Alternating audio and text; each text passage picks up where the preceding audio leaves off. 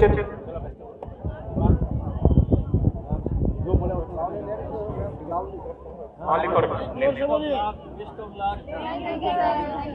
বলো শুনে বেড়ে আমরা আসাম আসাম মহিলা টিমের সঙ্গে পরিচয় হচ্ছেন আমার আজকের অনুষ্ঠানের অতিথিবৃন্দ এরপরে আমরা